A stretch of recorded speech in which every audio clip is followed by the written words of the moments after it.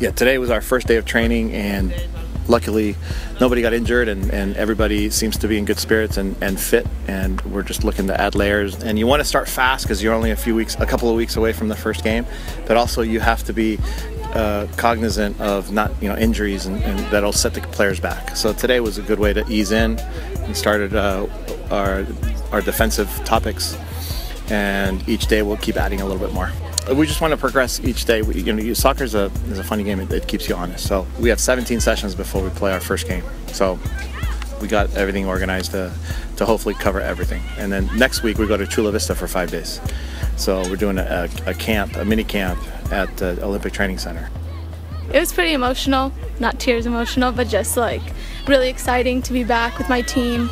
Um, even last night, I, I really couldn't sleep actually. it was um, I was just thinking about like, oh my gosh, like how am I gonna be and feel and stuff. But um, once I started playing, it just felt felt normal. Beach